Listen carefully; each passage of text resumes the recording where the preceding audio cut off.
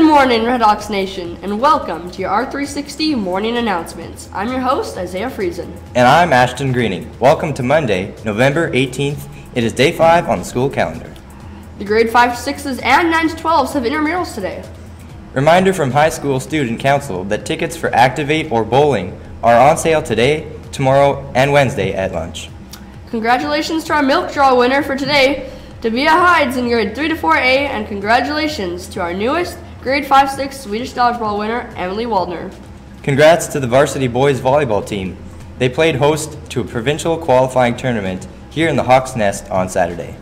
They defeated every team on their way to an undefeated record, winning a berth in the provincial championship in two weeks in Riverton, maintaining their number one ranking province-wide in a single A competition.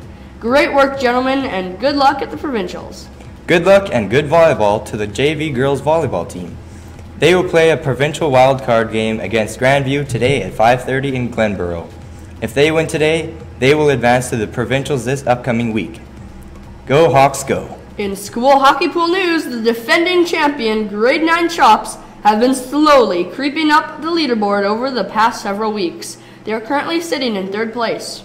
Meanwhile, the grade 3-4B Coyotes had a big night last night as their goaltender, Marc-André Fleury, had a shutout for Vegas. That's all for announcements this morning from all of us at the R360 Newsroom. Have a great day.